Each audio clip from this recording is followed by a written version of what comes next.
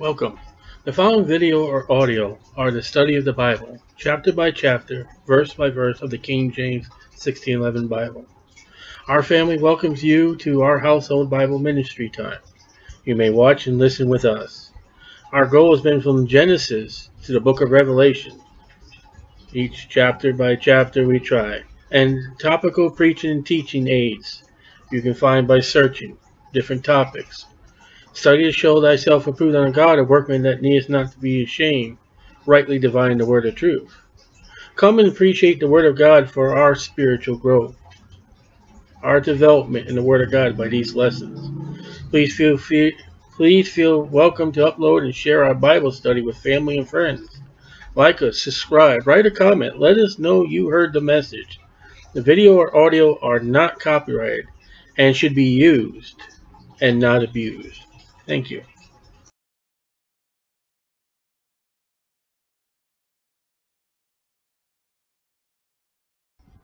Okay, I ask that you bear with me as we return back to First John chapter 3.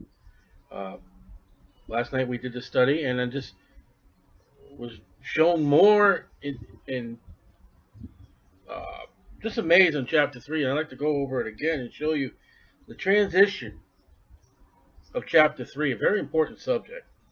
It says, Behold, what manner of love the Father has bestowed upon us, Christians, that we should be called the sons of God. Therefore, the world knows us not because it knew him not. All right, we're starting this chapter off with Christians, children of God. That's a great thing to start off. And thus, any born again, Bible believing Christian who has believed on the gospel of the Lord Jesus Christ. We are none of the world. We are of God. We are his children. He is our Father. Beloved, now are we the sons of God. And it does not yet appear what we shall be. But we know that when he shall appear, we shall be like him. And we shall see him as he is. This is a hope of the Christian. We got to live in the world. We got to make money for food, for clothing, lodging. We're to witness to lost people. We're to help other Christians. But our hope, our main thing is to leave this world and see Jesus Christ. And that would be by rapture or by death, but definitely rapture, even if you die. The blessed hope of the Lord Jesus Christ coming is coming, whether we die or we are alive. Looking for that blessed hope and the glorious appearing of our great God and Savior, Jesus Christ, was spoken of by Paul, and we see here John, the beloved disciple. He's looking for Jesus too. It wasn't just a thing that Paul was doing. We saw it with Peter. He wants Jesus to come, and they're teaching the people, look for Jesus. What a great thing. We are the sons of God, and Jesus is coming for us one day. And every man that has this hope in him purifies himself, even as he is pure. We saw in 1 John 1 9. If we confess our sins, he is faithful and just to forgive us our sins. So at that moment that Christ does come, we have an opportunity to get rid of wood, hay, or stubble by the blood of Jesus Christ. We are able to get gold, silver, precious stone. We live by Christ and we don't want to be caught in our sin. And being children of God, looking for Jesus Christ, and we've got a hope that the world doesn't have. The glorious hope. Whosoever committed sin transgresses the law, and sin is the transgression of the law. Now we're moving to sin and the law. We have stepped away from the Christian, the sons of God, our hope in God, our purification. We are stepping now into the realm of sin. Sin. The law tells me I am a sinner. I'm a saved Christian, but the wages of sin is death. I'm still going to die because I'm a Christian. That has not changed my body. Getting saved does not change my condition as far as my sins. But the blessed, uh, the gift of God is eternal life through Jesus Christ our Lord. Now we use Romans 6.23 to witness to people. That's proper. That's good. But that verse is written to Christians. We're still sinners.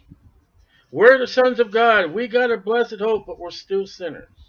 We're transla translation ourselves in this chapter of who we are and what we are. And we and ye know that he was manifested to take away our sins, and in him is no sin. So we're sinners. saved by grace. And Jesus Christ took away our sins, can take our sins away. 1 John 1 9. And in Christ there is no sin. So when he comes, we shall be like him. That means I'm going to be sinless one day. So in between here and when Jesus comes and, and the, the revelation that he takes away our sins, I'm a sinner. But oh, the expectation I've got for later on. I will be sinless like Jesus Christ. Glorious. I won't have troubles. I won't have death no more. By Jesus Christ. Wonderful. Whosoever abides in him, Christ, sinneth not. Whosoever sinneth has not seen him, neither knoweth him. So in the eyes of God, it's this flesh that's going to go in a grave, Lord willing, Lord tarries. It's this rotten flesh that sins in the eyes of God. God is displeased with my flesh, but I am righteous by his Son. And I have not seen his Son, never seen his Son. It's by faith. Substance of things hoped for, the evidence of things not seen. So, while in this body still, I've got hope. I've got faith. I'm a sinner. I've got the blood of Jesus Christ to cleanse me. I have opportunity to, to be before the judgment seat of Christ clean. I keep my eyes open. Little children. Again, this is a growth process of Christian. Babes in Christ, little children. Little children, let no man deceive you. A warning. We're jumping to a warning now. Let's see. We're seeing the child of God. We've seen our blessed hope. We've seen that Jesus is coming. And when we do sin, we have the blood of Jesus Christ. We have the ability to look forward to one day being sinless. But while we're still in this body, we're moving somewhere here in this chapter. We're looking at people can deceive us.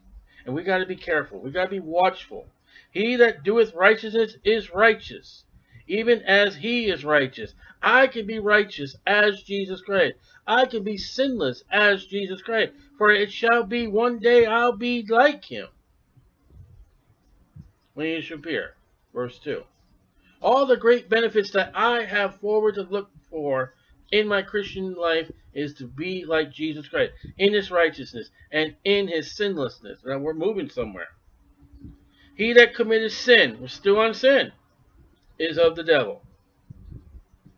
All right, we've gone from the mighty Christian being in God by Jesus Christ's righteousness, our hope. We've moved into our sins. We sin.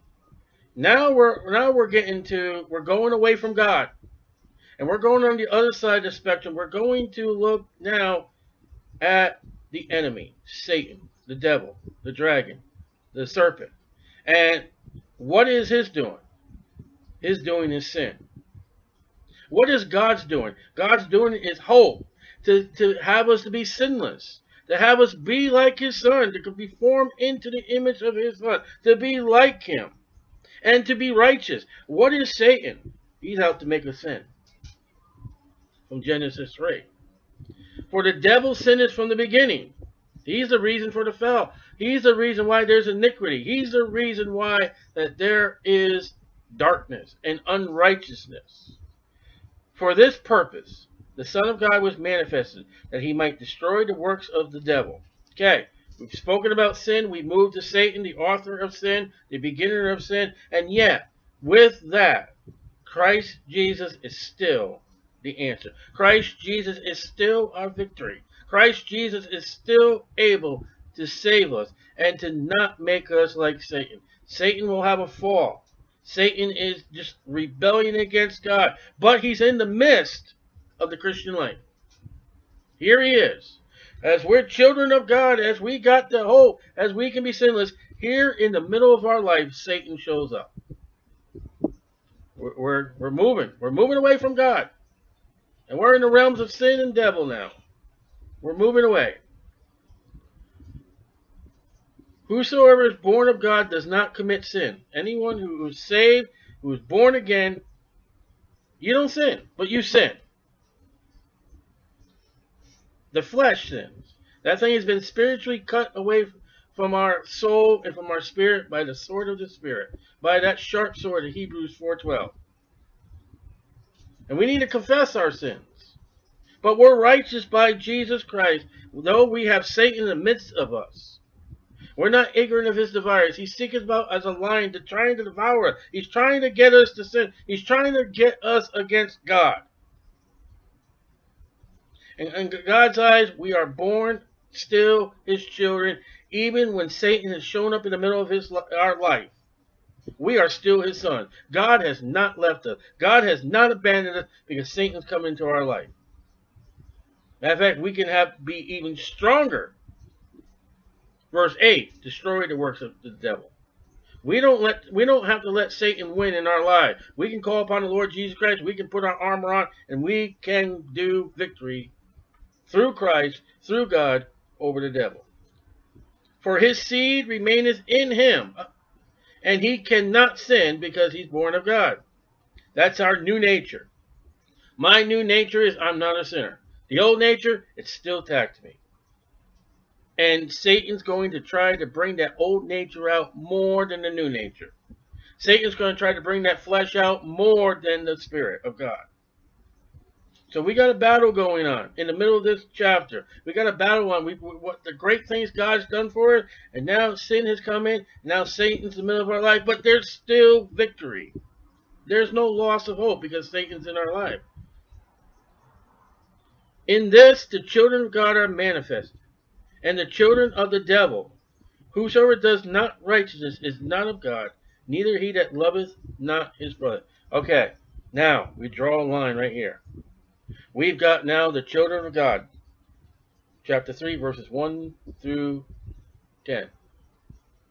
All the great hope, all the great expectation. You are sinless. You are precious in the God in the eyes of God through Jesus Christ. And then the other side of the spectrum, now we move away from God more. We've got children of the devil. They don't have no hope. They don't have the ability in Satan to be sinlessness. They don't have the ability in Satan to be righteousness. They are completely opposite of what we are. For this is the message that ye heard from the beginning, that we should love one another. Satan has no love, for God is love. What marks the Christian over a child of the devil? Love. Sacrifice. Charity. Now, Satan will use the word charity as here's 50 bucks and go feed some kids in Africa somewhere, or here's 75 bucks, let the kid get, uh, you know, his, his teeth fixed. Or here's a shoe box with all kinds of coloring, all kinds of stuff. That's, that's not charity. See, charity for devil is cash, check, money order. Put it on the IRS, but it doesn't get you nowhere. It does not do any pleasure to God. Satan is the enemy. Children of the devil are the enemy. I am no longer and will never be a child of Satan no longer because of the new birth, because of the new nature. I cannot go back to Satan's family. But I need to be advised, we need to be advised that there are family of Satan out there. And they're not anything like us. And the Bible says, as far as they go into all the world and preach the gospel. But we're not talking about that. Not as Cain. All right, so we're looking at Cain now. Cain is an example of a child of Satan. He builds a city. He's got music in his family. He's the metal workers of the family. He gets religion.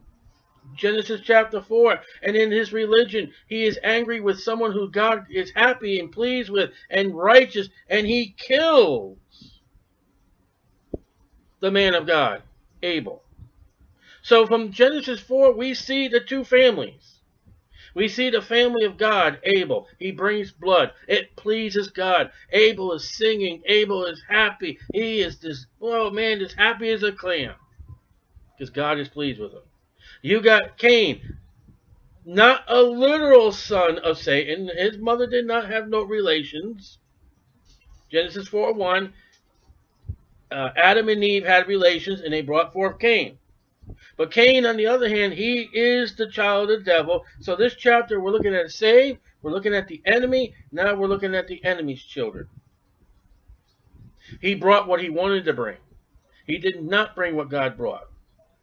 And when God said, I'm not pleased with that, he got angry. He got bitter. God gave him a chance. And he ends up killing. He hated his brother. Now, I would assume by this passage in chapter 3 that Abel loved his brother, being right with God, that if Cain, when we assumed if, if Cain was said, you know, brother, somehow God was pleased with you, can I have a lamb? Can I have an ox? Can I have some of the blood? Can I pay for? David today we learned when it came to building that temple at the threshing floor. He says, I'm going to pay for the sacrifice from God. Cain had that same ability, and Abel was happy, a son of God with great pleasures looking forward to. He would have gave him, or sold him at least, at a good price, that Cain could afford what was needed. Cain, I mean, Abel showed love. Cain shows us the side of Satan. There's no love in a brother. So what do we get from the atmosphere of Genesis chapter 4? Not just one brother killed another brother. One of them brothers takes after Satan. Another brother takes after God. Not as Cain, who was that wicked one, and slew his brother. And wherefore slew he him? Because his own works were evil and his brother's righteousness. And that's where you draw the line. We're in the middle of this chapter. What is there? There's a child of God. There's a child of Satan. There's righteous works and there's evil works. There's no middle line. There's no walking down the middle of the road. You're either of Satan or you're of God. You're either righteous or you're evil.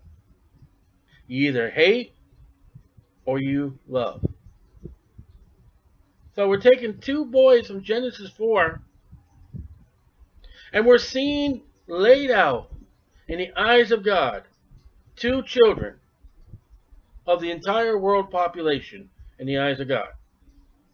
God either sees a type of Abel or God sees a type of Cain. There's no others. But marvel not, my brethren, if the world hates you. All right, so what's Cain? He's the world. And he hates you. Don't marvel. Say, well, why does my family hate you? They don't hate you. Well, they don't have anything. They hate Jesus. They hate God. They hate righteousness. They hate that you're a child of God. They hate the light. They hate. What's that hate come from? It comes from Satan. And when we go in all the world and preach the gospel, we bring that light to them. We bring the love of God to them because under their father Satan, they don't know what light is and they don't know what love is. And the only way they can see love is not going to see it by Jesus Christ. They're going to see it in the Christian. And if we don't have no love, they're just going to see Cain in religion. And throughout history, you don't see a Bible believing Christian killing others. You see religion killing.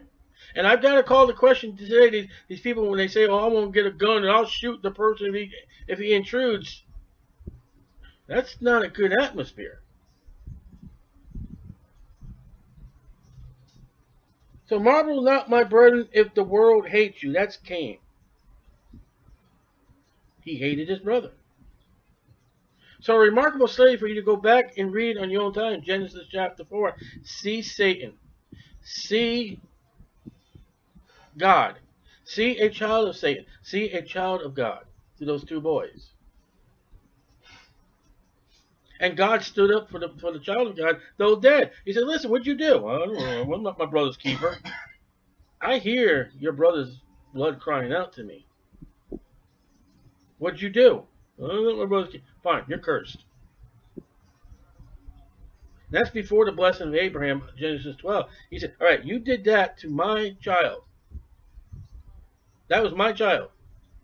Paul, it's hard for you to kick against the prick. Why persecute thou me? So we rest assured that however we are treated by the Cains of this world, God will be avenged. Vengeance is mine, says Lord. I will repay.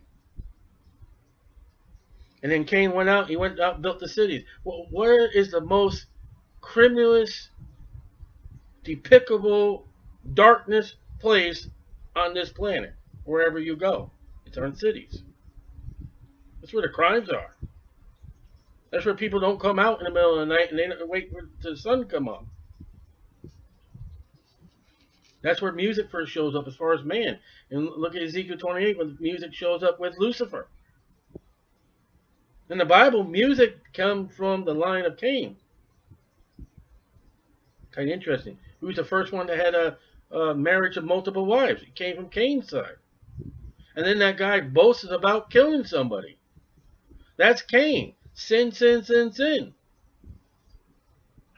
We know that we have passed from death to life. We're living. We're alive by Jesus Christ. Cain doesn't have that. A child of Satan, he has no life. John the Baptist says in last, chap- last verse of chapter 3, He that has the Son has life, but he that has not the Son shall not see life, but the wrath of God abiding upon him. Hell and the lake of fire is so wicked that God does, uh, you know, even though in hell, in the lake of fire, you live forever, you are living. God says it's, He doesn't call it life. He says perish. He says wrath of God. He says lake of fire. So we see two people here. We see those a child of God. You see those a child of Satan. Because we love the brethren. Now, is that our salvation? No. That is a work after faith that we saw in James. We love our brethren. We love our fellow Christians. We will help them out. Does the children of Satan help each other out? Yeah. Is it for love? How can it be? They don't know what love is. Some people do it to get their name in the newspaper. You ever wonder how some of these things they end up in the news? This guy helped us. Well, how do they know? How do they find out? Somebody had to call. It's for, it's for fame. Oh, I gave money to this charity. Hey, do you claim it on taxes? This guy jumped on a landmine, saved me in World War II. Okay, you know that was an impulse moment. Had he thought about it and could come back and redo that life, which you can't, I don't think he'd do it again. Because that moment, if he's child of the devil, he stepped on that landmine, blew himself up. He doesn't get life. He gets the wrath of God. I don't think he'd do it again. Where we're told as Christians, as far as the brethren, we are to put our life forth. We're going to read that in a minute. As Christ gave himself for us. For husbands that are that are over wives that are saved. We're to give ourselves. We're not supposed to be thinking about our lives. I was thinking about last night. They say that on the Titanic when it went down, the band played, you know, nearing my God. We don't know. I have no idea. But my question is, there wasn't enough lifeboats, and that was a proven fact. A lot of people didn't get in them because they didn't believe that ship was going to sink. Was there any Christians that gave up lifeboats and preached Christ on those decks that, that boat went down? Did anybody? Hey, come on, get in this boat. Get, no, no, no. Let them go. I'm going to turn. I may go in that water, freeze, and this ship may blow up, whatever. I'm going to be blown up to Jesus Christ, I'm going to end up as a popsicle before Jesus. These people are dying and going to hell. Let them live a little longer so they can survive and hear the gospel again. That's the love of, of a Christian. We get accused all the time when we preach on the street. You show no love. You, you're mean. You're not. No, you don't realize what the real love is. We go down there every week. Try to be down there every week. It's cold, flu, whatever it is. We try to be there because we want you to hear what God wants from you. We want you to hear the love of God, to give you another opportunity because you're going to die one day and you don't know when it is. We know that we have passed from death to life because we love the brethren. He that loveth not his brother abideth in death. Who did not love his brother? All right. So Cain is of that wicked one, and so is our families, our co-workers, our friends who have never believed on. you. They are not as good as you think they are. And whatever their intentions of doing something for you, it's not love because the Bible says God is love. We got to get that. We got to realize when somebody's of Cain and of the devil, they need to hear the gospel. They need to get saved. I don't care what I don't care what good things they do. You're either a child of God or you're a child of the devil. He that loveth not his brother abideth in death. Whosoever hateth his brother, it's Cain. So any hatred is of Cain. He's a murderer. And that's exactly what Cain was. He was a murderer. And ye know and ye know that no murderer has eternal life abide in him. Now we say, well, we kind of little stumbled over that verse last night. But if I'm a child of God, what did we just read in this chapter? I don't sin, do I? I can murder somebody and plead the blood of Jesus Christ, I mean, with a complete repentant heart being sorry. Cain was a murderer. Now get this. We know God said he was a murderer. Forget about the mark, forget about the curse. Cain never, as we can see in the Bible, never got right and never repented. Cain does not have life, according to chapter 3. Cain's going to die, according to chapter 3. Cain is in hell today because of his sin, because of his hatred for his brother. So, John chapter 3, verse 15 teaches us that there's a false doctrine saying that within time everybody will go to heaven. Cain died as a sinner. He did not have his sins washed in blood. He was not of the child of God, as we already read. He was a child of the devil. Any children of Satan die, and they do not have eternal life. It's the wrath of God. Now, a child of God, you're a child of God, you get eternal life. You may sin, we're all sinners, but you still got the eternal life. Now, you will be judged at the judgment seat of Christ, and you will lose for your sins. But you don't lose. Your sins will be wood, hay, or stubble, and it gets burnt up, ashes. You don't get nothing out of it. You lose a reward. If a child of the devil sins, he is charged with that sin and he gets the wrath of God. Hereby we perce hereby perceive we the love of God. The love of God. It's not the love of Satan. Now, like I said, we looked at the child of God. Is his blessed hope. Jesus is coming. We're going to be like him. We're going to have his righteousness. We are not sinners. If we do sin, we have Christ to wash us from our sins. From sins, we go to devil. From the devil, we go see we see the children of the devil. We see a type of a child of the devil. We see Cain. We see that he has no eternal life. Now let's go back to the Christian. Let's work our way back now. Let's get back to the Christian. Let's get back to God. We went all the way up on the hill. We went down, down, down, down, down. We are in the pit of hell right now with Cain, and now we're going to start climbing back up. That's where this chapter is leading us. Hereby perceive we the love of God not Satan. Because he laid down his life for us.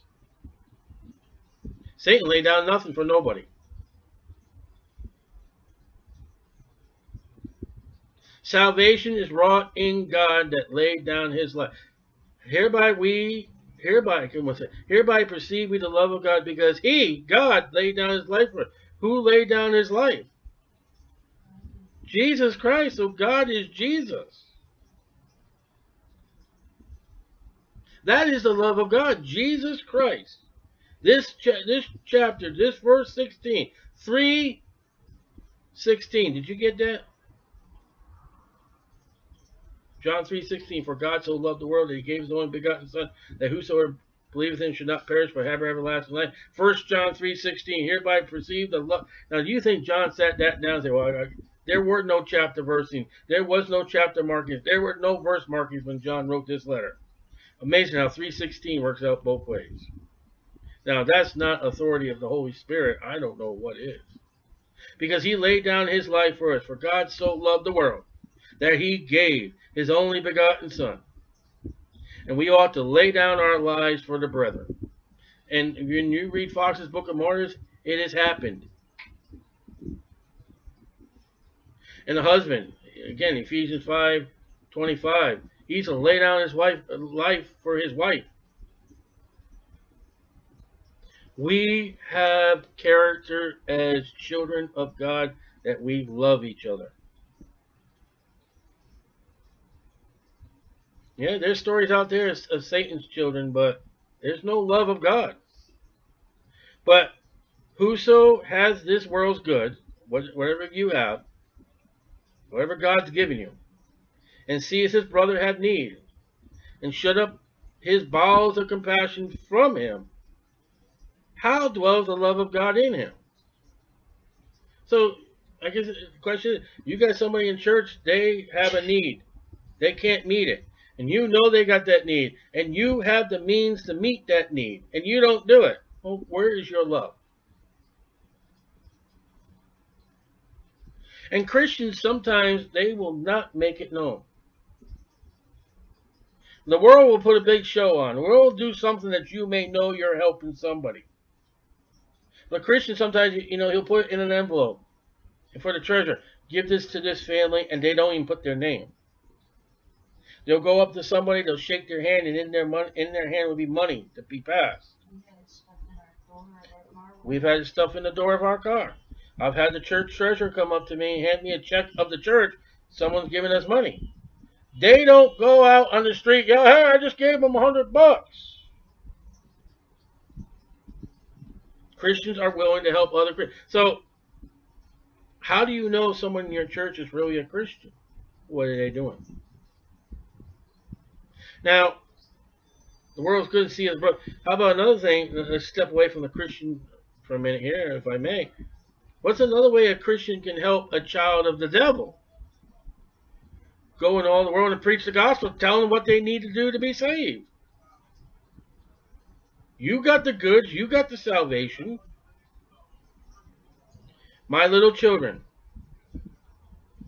I think we read that somewhere in this verse. We're working our way back.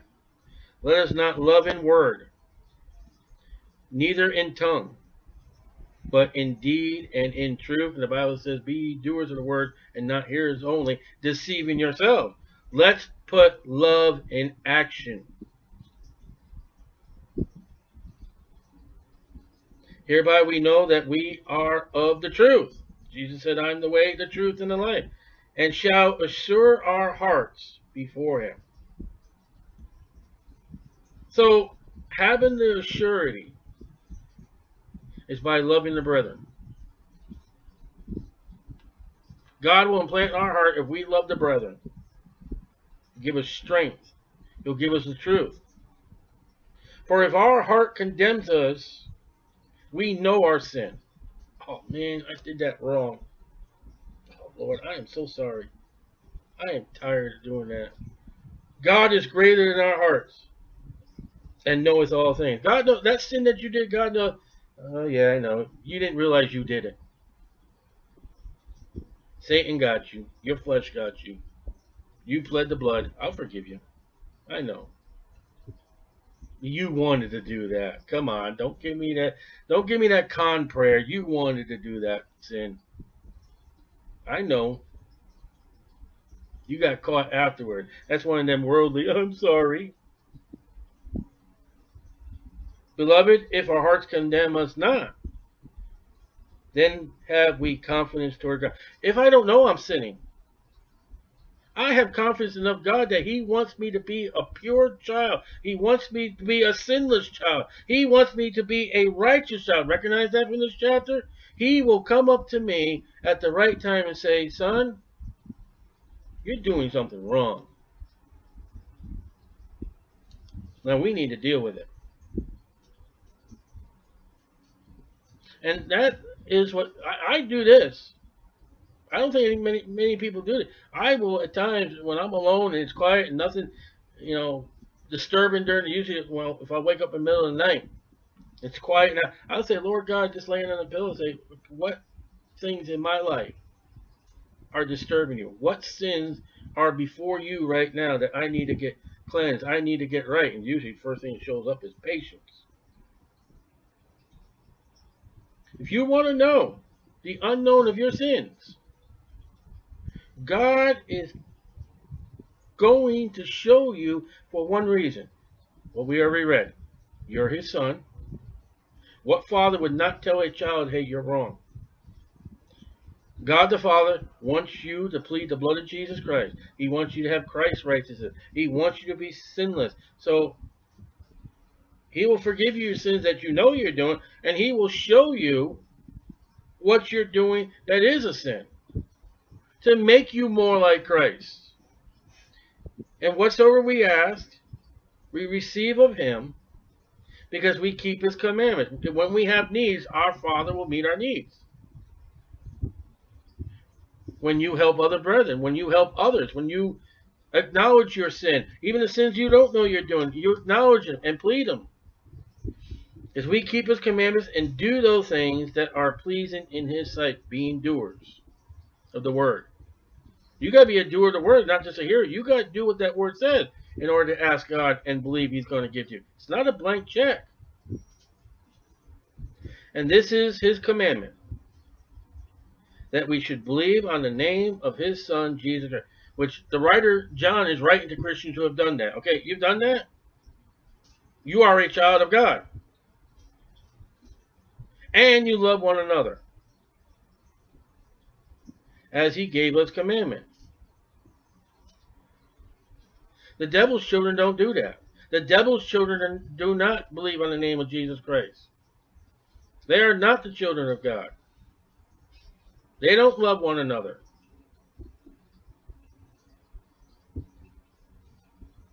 And if you remember, we started the chapter out, Behold, what manner of love the Father has bestowed on us, that we should be called the sons of God. We've come from the sons of God We've gone all the way down to Cain, a child of the devil. We worked our way back up, and here we are back to verse 1. Sons of gods again. For he that keepeth his commandments dwelleth in him, and he in him. Hereby we know that he abides in us by the Spirit which he has given us, sealing us, certifying us that we are the sons of God. And we stand above the world. We stand above Satan. We are not sinners in the eyes of God by the new nature. The old nature that keeps creeping up. We are righteousness by his son. We have opportunity when we do sin, whether we know it or when we don't know it, to plead the blood of Jesus Christ. And our Father looks out for us. And since Verse 17, when you have a brother who has a need, he's a brother, he's a son of God. You're a son of God. Your family, your brothers, help each other out. Now, what is Satan in his brotherhood? And you'll find this in Proverbs. You can choose a friend, but you can't choose family. Satan's family, you're just born into it. No choice about it at all. As far as children of God, you can choose the right church, you can choose the right people. It's your opportunity. You can walk in a church saying that these people are just worldly and godly. I'm getting, I mean, worldly and ungodly. I'm getting out of here. I'm going to go find a good church. And you find a good church that loves and everything like that. You've chosen those people. And if you're good in doing what God wants you to do in your life, they'll choose you. You weren't born in the old nature of Satan by the and if we all follow the principles set before us as children of God, we are one family. And we're to be a family of God better and more so than the family of Satan. Because our Father is all love. Their Father does not know what love is. Our Father is willing to forgive us our sins. Their father is the sinner. The children of our Father love us, at least they're supposed to. The children of Satan want to kill you. So the character and the attribute that God is love is supposed to be in his children. And the character and the attribute of Satan, lies, deceit, murder, hatred, that's in his children. So when we all get to heaven, we're given new bodies, we're given sinless bodies, we're given perfected bodies, we're given righteousness. There's no hate, there's no murder, there's no sin. Wonderful. The children of the devil, they go to a place of sin. They go to a place where there's no love. They go to a place there's no grace, no mercy, because they don't show it. It is not recognized by God. But oh, what our Father does for us. And then we see by this, the love of God abideth forever. If God did not love me and keep me and seal me and certify me, he would never love me. I am kept forever. So when you say, oh, I lost my salvation, you're really telling God you don't love me. And after what he's done for us through Jesus Christ, that'd be a false statement.